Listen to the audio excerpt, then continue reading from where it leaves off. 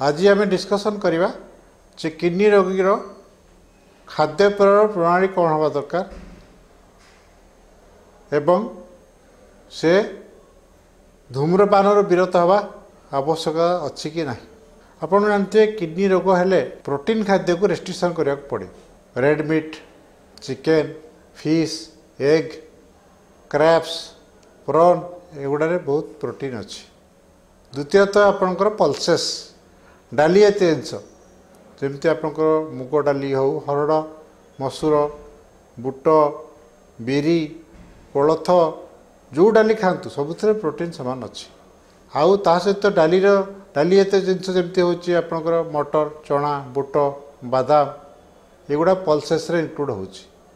ତା ସହିତ milk product କ୍ଷୀର ଦହି କ୍ଷୀରରୁ ଯେଉଁ ଜିନିଷ ତିଆରି ହେଉଛି ଛେନା ପନିର ମିଠା ଏଇ ତିନୋଟି ଯାକ ଜିନିଷ ଯେମିତି ମୁଁ କହିଲି ନନ୍ଭେଜ୍ ପଲସେସ୍ ଆଉ ମିଲ୍କ ପ୍ରଡ଼କ୍ଟ ଏଇ ତିନୋଟି ଯାକ ପ୍ରୋଟିନ୍ ଯୁକ୍ତ ଖାଦ୍ୟକୁ ଆପଣଙ୍କୁ କମାଇବାକୁ ପଡ଼ିବ ଜଣେ ଲୋକ ସୁସ୍ଥ ଲୋକର ପ୍ରୋଟିନ୍ ଦରକାର ହେଉଛି one milli one gram per K G ତାମାନେ ଜଣେ ଷାଠିଏ କେଜି ଲୋକର ଷାଠିଏ ଗ୍ରାମ୍ ପ୍ରୋଟିନ୍ ଖାଇବା ନିହାତି ଆବଶ୍ୟକ।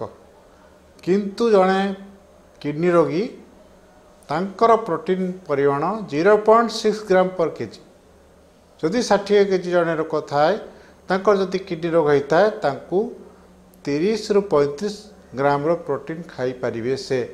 ତାଠୁ ଅଧିକା ପ୍ରୋଟିନ୍ ଖାଇଲେ ତାଙ୍କର କିଡ଼ନୀ ରୋଗ ଆଗକୁ ବଢ଼ିଯିବାର ସମ୍ଭାବନା ବହୁତ ଅଧିକ ଅଛି। ତେଣୁ ଆପଣଙ୍କୁ ଡକ୍ଟରକୁ ପରାମର୍ଶ କରିବାକୁ ପଡ଼ିବ ଯେ ପଇଁତିରିଶ ଗ୍ରାମର ପ୍ରୋଟିନ୍ ଜଣେ ଷାଠିଏ କେଜି ଲୋକ କେମିତି ଖାଇଲେ ତାଙ୍କର ସେତିକି ପ୍ରୋଟିନ୍ ତାଙ୍କ ଦେହକୁ ଯିବ ଆଉ ଅଧିକ ପ୍ରୋଟିନ୍ ଦେହକୁ ଯିବ ନାହିଁ। ତେଣୁ ସେ ଡକ୍ଟର ଆପଣଙ୍କୁ କହିବେ ଏବଂ ଡାଏଟିସିଆନ୍ ଆପଣଙ୍କୁ କହିବେ ଯେ ଏତିକି ପ୍ରୋଟିନ୍ ଏଇ ଖାଦ୍ୟ ଖାଆନ୍ତୁ ଏତିକି ପରିମାଣ ଖାଆନ୍ତୁ ଯାହାଦ୍ୱାରା ଆପଣ ପ୍ରତିଦିନ ଦୈନିକ ପ୍ରୋଟିନ୍ ପରିମାଣ ପଇଁତିରିଶ ଗ୍ରାମ ଭିତରେ ରହିବ। ସେଇଟା ଗୋଟେ ମୁଖ୍ୟ କଥା। ସମସ୍ତେ କୁହନ୍ତି ଯଦି କିଡ଼ନୀ ରୋଗ ହେଲା ପ୍ରୋଟିନ୍ ଖାଦ୍ୟ ବନ୍ଦ କରିବାକୁ ପଡ଼େ। ମୁଁ କହିବି ନୁହେଁ। ପ୍ରୋଟିନ୍ ଖାଦ୍ୟକୁ ଆପଣ କମେଇବାକୁ ପଡ଼ିବ। ତା ମାନେ ନୁହେଁ ଯେ ଆମେ ପ୍ରୋଟିନ୍ ଖାଦ୍ୟକୁ ବନ୍ଦ କରିଦେବା। କିମ୍ବା ନନ୍ଭେଜ୍କୁ ବନ୍ଦ କରିଦେବା। ନନ୍ଭେଜ୍କୁ ବନ୍ଦ କରିଦେଲେ ଯେ ଆପଣ କିଡ଼ନୀ ଠିକ୍ ହେଇଯିବ ସେମିତି କୌଣସି ରିସର୍ଚ୍ଚ କରି କଲା କରିକି ଦେଖାଯାଏ ନାହିଁ। ଆମେମାନେ ଜାଣୁଛୁ ଯେ ରିସର୍ଚ୍ଚ କହୁଛି ଯେ ଆପଣଙ୍କର ପ୍ରୋଟିନ୍ ନିହାତି ଆବଶ୍ୟକ ଦେହ ପାଇଁ। କିନ୍ତୁ ଆପଣ ଯଦି zero point six gram per କେଜିରୁ ଅଧିକା ପ୍ରୋଟିନ୍ ଖାଆନ୍ତି ପ୍ରତିଦିନ ତାହେଲେ ସେଇଟା ଆପଣଙ୍କ କିଡ଼ନୀକୁ ଆହୁରି ଖରାପ କରିବ। କିନ୍ତୁ ଆପଣ ରେଡ଼୍ ମିଟ୍ଟାକୁ ବନ୍ଦ କରିବାକୁ ପଡ଼ିବ। ରେଡ଼୍ ମିଟ୍ କେବଳ ପ୍ରୋଟିନ୍ ନାହିଁ। ରେଡ଼୍ ମିଟ୍ରେ ଆପଣଙ୍କର ୟୁରିକ୍ ଏସିଡ଼୍ ମଧ୍ୟ ବଢ଼ିବ। ତେଣୁ ଆପଣ ରେଡ଼୍ ମିଟ୍ଠୁ ଦୂରରେ ରହିବାକୁ ପଡ଼ିବ ଯଦି ଆପଣଙ୍କର କିଡ଼ନୀ ସମସ୍ୟା ଦେଖାଯାଉଛି। ଚିକେନ୍ ଆପଣଙ୍କର ବ୍ରଏଲର୍ ଚିକେନ୍ ଖାଇପାରିବେ କିନ୍ତୁ ଆପଣଙ୍କର ସେଇଟା ପରିମାଣ ଯେତେ କମ୍ ହେବ ସେତେ ଭଲ। ରେଗୁଲାର ଆପଣ ଖାଇପାରିବେ ନାହିଁ। ଆପଣ ଡାଏଟିସିଆନ୍ କନସଲ୍ଟ କରିକି ପନ୍ଦର ଦିନରେ ଥରେ କିମ୍ବା ମାସରେ ଥରେ ଖାଇପାରିବେ। ଫିସ୍ ଆପଣ ଯଦି ଖାଇବେ ତାହେଲେ ଆପଣଙ୍କର ସ୍ମଲ୍ ଫିସ୍ ଯେଉଁଟା ପ୍ରୋଟିନ୍ କମ୍ ଅଛି ଏବଂ ସେଥିରେ କାଲସିୟମ୍ ବି ଭଲ ଅଛି। ତେଣୁ ଆପଣ ସ୍ମଲ୍ ଫିସ୍ ଖାଇବାକୁ ଚେଷ୍ଟା କରନ୍ତୁ। ସପ୍ତାହକୁ ଦୁଇଥର ଫିଫ୍ଟି ଗ୍ରାମର ସ୍ମଲ୍ ଫିସ୍ ଖାଇପାରିବେ। ଆଉ ଆପଣଙ୍କର ବଡ଼ ଫିସ୍ ଯଦି ଖାଉଛନ୍ତି ଗୋଟେ କେଜି ସାଇଜ୍ର ଫିସ୍ରୁ ସପ୍ତାହକୁ ଦୁଇଥର ଗୋଟେ ଗୋଟେ ପିସ୍ ଦୁଇଥର ଖାଇପାରିବେ। ତାଦ୍ୱାରା ଆପଣଙ୍କର ପ୍ରୋଟିନ୍ ବାଲାନ୍ସ ରହିବ ଆଉ ପ୍ରୋଟିନ୍ ବି ଅଧିକ ହେବ ନାହିଁ ଆଉ ଆପଣ ଦୁର୍ବଳ ବି ହେବେ ନାହିଁ। ଯଦି ଏଗ୍ ଖାଉଛନ୍ତି ଏଗ୍ ହ୍ୱାଇଟ୍ ଖାଇପାରିବେ। ସପ୍ତାହ ଦୁଇଥର ତିନିଥର ଏଗ୍ର ହ୍ୱାଇଟ୍ଟା ଖାଇବେ। ୟେଲୋଟା ଖାଇଲେ ଆପଣଙ୍କର କୋଲେଷ୍ଟ୍ରଲ୍ ଅଂଶ ବଢ଼ିଯିବ। ତେଣୁ ୟେଲୋଟାରୁ ଦୂରରେ ରହିବାକୁ ପଡ଼ିବ। ମିଲ୍କ ଆଉ ଯଦି ଆପଣଙ୍କର ପନିର କିମ୍ବା ଛେନା ଖାଉଛନ୍ତି ତାହେଲେ ମିଲ୍କ ଆପଣ hundred M L per day ନେଇପାରିବେ। ଦହି ନେଲେ ଆପଣ hundred M L per day ନେଇପାରିବେ। ପନିର ଯଦି ନେବେ ଫିଫ୍ଟି ଗ୍ରାମ ସପ୍ତାହକୁ ଦୁଇଥର ଖାଇପାରିବେ। ଯଦି ଆପଣ ଛେନା ଖାଉଛନ୍ତି ଫିଫ୍ଟି ଗ୍ରାମ ସପ୍ତାହକୁ ତିନିଥର ଅଲ୍ଟରନେଟ୍ ଖାଇପାରିବେ। ତାଦ୍ୱାରା ଆପଣଙ୍କର ପ୍ରୋଟିନ୍ ଯେତିକି ଦରକାର ଆପଣଙ୍କ ଦେହ ପାଇଁ ସେଇଟା ଆପଣଙ୍କର ସନ୍ତୁଳିତ ଅବସ୍ଥାରେ ରହିପାରିବ। ନେକ୍ସଟ ହେଉଛି ଆପଣଙ୍କର ପଲସେସ୍ ଡାଲି। ପଚାଶ ଗ୍ରାମ ଡାଲି ଆପଣଙ୍କର ଦିନକୁ ଥରେ ଖାଇପାରିବେ କିନ୍ତୁ ପାଣିଆ ଡାଲି ଖାଇବେ। ପଚାଶ ଗ୍ରାମ ତଳକୁ ହେଲେ ଆହୁରି ଭଲ। ପାଣିଆ ଡାଲି ଖାଇବେ ଚଣା ମଟର ବୁଟ ବାଦାମ ଖାଇବେ ନାହିଁ ମିକ୍ସଚର୍ ଖାଇବେନି ଏଗୁଡ଼ାକ ଆପଣ ରେଷ୍ଟ୍ରିକ୍ସନ୍ କରିବେ। ସେକେଣ୍ଡ କଥା ହେଉଛି ଆପଣଙ୍କର ପାଣି କେତେ ପିଇବେ ଯଦି ପଚରାଯାଏ ଜଣକୁ? ଆଜ୍ଞା ମୁଁ କିଡ଼ନୀ ରୋଗୀ। ମୋର ଆଜ୍ଞା କେତେ ପାଣି ପିଇବା ଦରକାର? ମୁଁ କହିବି ଆପଣଙ୍କର କିଡ଼ନୀ ରୋଗ ହେଲେ ପାଣି ପିଇବାରେ କୌଣସି ରେଷ୍ଟ୍ରିକ୍ସନ୍ ନାହିଁ। କିନ୍ତୁ ଯେତେବେଳେ ଆପଣଙ୍କର ପାଦ ଫୁଲିବା ଆରମ୍ଭ ହେଲାଣି ସେତେବେଳେ ପାଣି ରେଷ୍ଟ୍ରିକ୍ସନ୍ କରିବାକୁ ପଡ଼ିବ।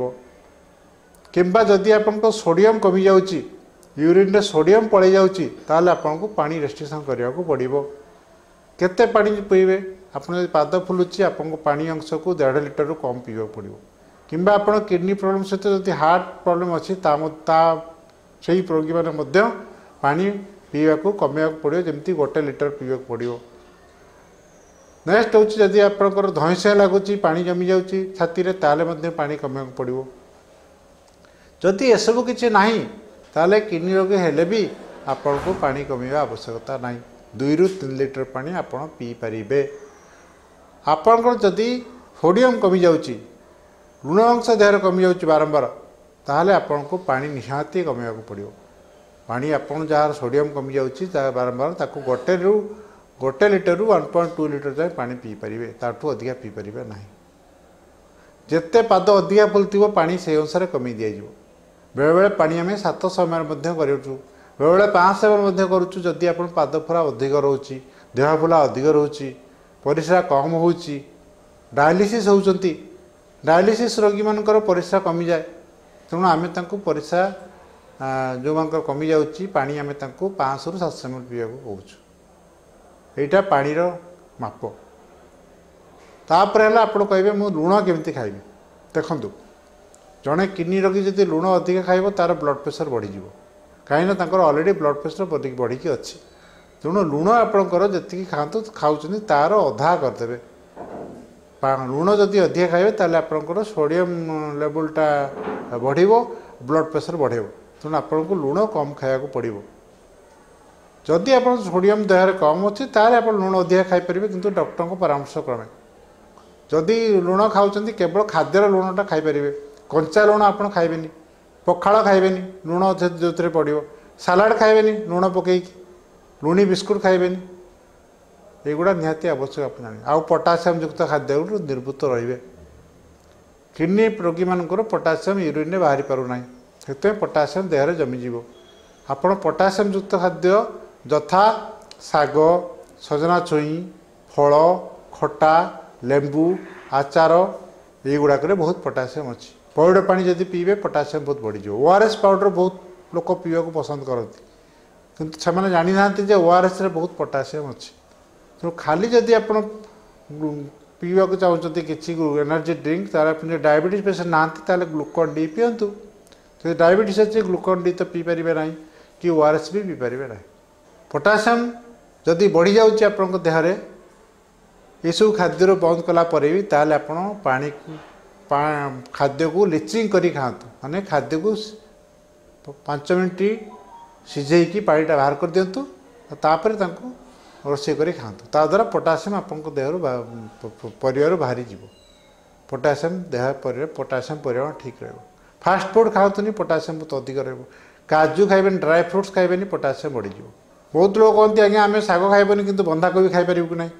ଆମେ କହୁ ଆଜ୍ଞା ଶାଗ ଯଦି ପତ୍ର ଜାତୀୟ ଜିନିଷ ହେଲା ବନ୍ଧାକୋବି ବି ପତ୍ର ଜାତୀୟ ଜିନିଷ କେମିତି ଆପଣ ଖାଇପାରିବେ? କେତେ ଜଣ ଲୋକ କହନ୍ତି ଆଜ୍ଞା ଆମେ ଡାଳିମ୍ବ ଖାଇବୁ ରକ୍ତ ବଢ଼ିବା ପାଇଁ। ମୁଁ କହିଲି ଆଜ୍ଞା ଡାଳିମ୍ବ ଖାଆନ୍ତୁନି କାହିଁକିନା ସେଥିରେ ପଟାସିୟମ୍ ଅଧିକା ଅଛି। କେତେ ଜଣ କଣ କହୁଛନ୍ତି ଆଜ୍ଞା ପଇଡ଼ ପାଣି ପିଇବାକୁ ଚାହୁଁଛୁ ଆମେ। ମୁଁ କହିଲି ପଇଡ଼ ପାଣି ପିଇପାରିବେ ନାହିଁ ବିଲକୁଲ। ସେଥିରେ ପଟାସିୟମ୍ ବଢ଼ିଯିବ ଲେମ୍ବୁ ପିଇ ଖାଇପାରିବେନି। ଯେକୌଣସି ଖଟା ଜାତୀୟ ଜିନିଷ ଖାଇଲେ ପଟାସିୟମ୍ ବଢ଼ିଯିବ ଫଳ ଖାଇଲେ ପଟାସିୟମ୍ ବଢ଼ିଯିବ। କେବଳ କମ୍ ପଟାସିୟମ୍ ଯୁକ୍ତ ଥିବା ଫଳ ଖାଇପାରିବେ ସେଇଟା ପୁଣି ଡାକ୍ତରଙ୍କ ପରାମର୍ଶ କମେ ସେଓ ପିଜୁଳି କାକୁଡ଼ି ପାଚିଲା ଅମୃତଭଣ୍ଡା ଏହି ଚାରୋଟି ଫଳ ଆପଣମାନେ ଖାଇପାରିବେ କିନ୍ତୁ କମ୍ ପରିମାଣରେ ଖାଇପାରିବେ। ଏଇସବୁରେ ପଟାସିୟମ୍ କମ୍ ଅଛି। ପଟାସିୟମ୍ ନାହିଁ ବୋଲି ନାହିଁ କିନ୍ତୁ ପଟାସିୟମ୍ ପରିମାଣ କମ୍ ଅଛି। କେତେଜଣ ଆମ ଡାୟାଲିସିସ୍ ପେସେଣ୍ଟମାନେ ପଚାରନ୍ତି ସାର୍ ଆମର ଖାଦ୍ୟ କ'ଣ ହେବା ଦରକାର? ମୁଁ ତାଙ୍କୁ କହେ ଆପଣ ଯେହେତୁ ଡାୟାଲିସିସ୍ ହେଉଛନ୍ତି ତେଣୁ ଆପଣଙ୍କ ପ୍ରୋଟିନ୍ ଖାଦ୍ୟରେ ରେଷ୍ଟ୍ରିକ୍ସନ୍ କରିବା ଆବଶ୍ୟକତା ନାହିଁ। କାରଣ ଆପଣ ଡାୟାଲିସିସ୍ ରୋଗୀମାନେ ନର୍ମାଲ୍ ପ୍ରୋଟିନ୍ଠୁ ଅଧିକା ପ୍ରୋଟିନ୍ ଖାଇବାକୁ ପଡ଼ିବ ଯେଉଁମାନେ ଡାୟାଲିସିସ୍ ହେଉଛନ୍ତି। କାହିଁକି ନା ତାଙ୍କର ଡାୟାଲିସିସ୍ରେ ପ୍ରୋଟିନ୍ ଗୁଡ଼ା ବାହାରିଯାଏ ଡାୟାଲିସିସ୍ କଲାବେଳେ। ସେଥିପାଇଁ ନର୍ମାଲ୍ ଲୋକ ଯଦି ଗୋଟେ ଗ୍ରାମ ପର କେଜି ପ୍ରୋଟିନ୍ ଖାଇବା ଖାଉଛନ୍ତି ଡାୟାଲିସିସ୍ ରୋଗୀ ଜଣେ one point three gram per kg protein ତାମାନେ ସିଏ ଜଣକ ଆଉ ଦଶ ଗ୍ରାମ ପ୍ରୋଟିନ୍ ଅଧିକା ଖାଇବାକୁ ପଡ଼ିବ ନର୍ମାଲ୍ ରୋଗୀଠୁ ନର୍ମାଲ୍ ଲୋକଠୁ। କାହିଁକି ନା ତାଙ୍କର ଡାୟାଲିସିସ୍ରେ ପ୍ରୋଟିନ୍ ବାହାରି ଯାଉଛି ତେଣୁ ତାଙ୍କର ପ୍ରୋଟିନ୍ ଖାଦ୍ୟ ଅଧିକ ହେବାକୁ ପଡ଼ିବ ନର୍ମାଲ୍ ଲୋକଠୁ। ଯେମିତିକି ସେ ଡେଲି ଗୋଟେ ଗୋଟେ ଅଣ୍ଡାର ଧଳା ଖାଇପାରିବେ ସପ୍ତାହକୁ ତିନି ଥର ଚାରି ଥର ମାଛ ଖାଇପାରିବେ ସପ୍ତାହକୁ ଦୁଇ ଥର ଚିକେନ୍ ଖାଇପାରିବେ ମୋଟା ଡାଲି ଡେଲି ଖାଇପାରିବେ ତାଙ୍କୁ ଗଜାମୁଗ ଖାଇବାକୁ ପଡ଼ିବ ଛେନା ଖାଇବାକୁ ପଡ଼ିବ ଡେଲି ଶହେ ଗ୍ରାମର ପନିର ଖାଇବାକୁ ପଡ଼ିବ କ୍ଷୀ- କ୍ଷୀର ନ ଖାଇପାରିଲେ ପାଣି ବଢ଼ିଯିବ ବୋଲି ତାଙ୍କୁ ଛେନା ଖାଇବାକୁ ପଡ଼ିବ ତାଦ୍ୱାରା ତାଙ୍କର ଦେହରେ ପ୍ରୋଟିନ୍ ଡେ- ଠିକ୍ ରହିବ ଏବଂ ତାଙ୍କର ଦେହ ଦୁର୍ବଳ ହେବ ନାହିଁ। କିନ୍ତୁ ତାଙ୍କ ପଟାସିୟମ୍ ଖାଦ୍ୟ ନିହାତି ବନ୍ଦ ରଖିବାକୁ ପଡ଼ିବ କାରଣ ପଟାସିୟମ୍ ବଢ଼ିଯିବା ସମ୍ଭାବନା ଅଧିକ। ଯେମିତି କହିଲି ମୁଁ ଯେତିକି ପଟାସିୟମ୍ ଖାଦ୍ୟ ପୂର୍ବରୁ କହିଲି ସେଗୁଡ଼ାକୁ ବନ୍ଦ ରହିବ ଡାଇଲିସିସ୍ ପେସେଣ୍ଟ ତାପର କଥା ହେଉଛି ଆପଣଙ୍କର ଜଣେ ଡାଇଲିସିସ୍ ହେଉଛନ୍ତି କିମ୍ବା ଜଣେ କିଡ଼ନୀ ରୋଗୀରେ ପୀଡ଼ିତ ଅଛନ୍ତି ସିଏ କହିବେ ମୁଁ ସ୍ମୋକିଂ କରିପାରିବି କି ନାହିଁ। ଆପଣମାନେ ଜାଣିଥିବେ smoking is injurious to health ଆପଣଙ୍କର ସ୍ମୋକିଂ ଅଙ୍ଗ ସବୁ ଅଙ୍ଗକୁ ଏଫେକ୍ଟ କରେ। ଯେମିତି ହାର୍ଟକୁ ଖରାପ କରିବ ହାର୍ଟ ଆଟାକ୍ କରିବ ଲଙ୍ଗସକୁ ଖରାପ କରିବ ଲଙ୍ଗ କ୍ୟାନ୍ସର କରିବ ସିଓପିଡ଼ି କରିବ ଲଙ୍ଗସକୁ ଆସ୍ମାକୁ ବଢ଼େଇ ଦେବ ଆପଣ ସ୍ମୋକିଂ କଲେ ମଧ୍ୟ ଆପଣଙ୍କର କିଡ଼ନୀ ଖରାପ ହେବାର ସମ୍ଭାବନା ଅଧିକ ଅଛି। ଜଣେ କିଡ଼ନୀ ରୋଗୀ ସାଧାରଣତଃ ତାଙ୍କର ହାର୍ଟ ସମସ୍ୟା ଅଧିକା ଦେଖାଯାଏ। ଯଦି ସେ ସ୍ମୋକିଂ କରନ୍ତି ତାହେଲେ ତାଙ୍କର ହାର୍ଟ ସମସ୍ୟା ଦଶ ଗୁଣରୁ ଅଧିକା ବଢ଼ିଯିବ ଆହୁରି। ସେଥିପାଇଁ ତାଙ୍କର ହାର୍ଟ ଆଟାକ୍ ହେବାର ସମ୍ଭାବନା ଅଧିକ। ଏବଂ ଜଣେ ନର୍ମାଲ ଲୋକ ଯଦି ବି ସ୍ମୋକିଂ କରେ ତାଙ୍କର ମଧ୍ୟ ସ୍ମୋକିଂ ଯଦି ବେଶୀ ବର୍ଷ କରନ୍ତି ତାଙ୍କର ମଧ୍ୟ କିଡ଼ନୀ ଖରାପ ହେବାର ସମ୍ଭାବନା ଅଧିକ ଅଛି। ତେଣୁ ଏସବୁ ଜା ଆପଣମାନେ ଜାଣିବା ଦରକାର ଏବଂ ଆପଣମାନେ ସମସ୍ତେ ସ୍ମୋକିଂରୁ ନିର୍ବ ନିବୃତ୍ତ ହେବା ନିହାତି ଆବଶ୍ୟକ ଧନ୍ୟବାଦ ଥ୍ୟାଙ୍କ ୟୁ